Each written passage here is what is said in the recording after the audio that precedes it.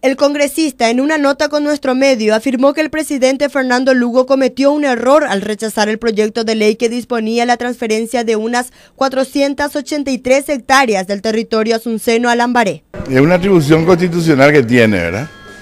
Yo que voté a favor de Lambaré para tal vez ser justo, creo que se equivocó. Pero esa es mi opinión.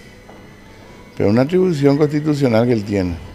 Nosotros lo que tenemos que hacer ahora es buscar votos para ver si podemos levantar ese veto.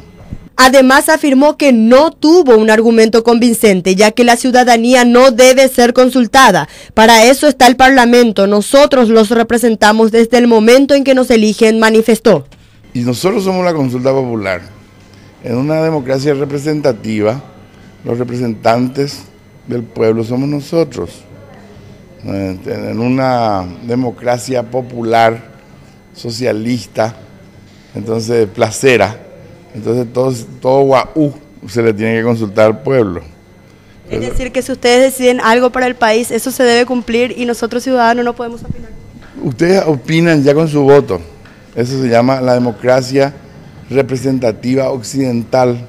Jaegli, tras haber hablado con nosotros, se dispuso a salir del Congreso, pero fue visto y abucheado más tarde por los empleados de la comuna de Asunción, quienes burlaron la valla perimetral y persiguieron al legislador con mucha violencia hasta la puerta del estacionamiento de la sede del Poder Legislativo.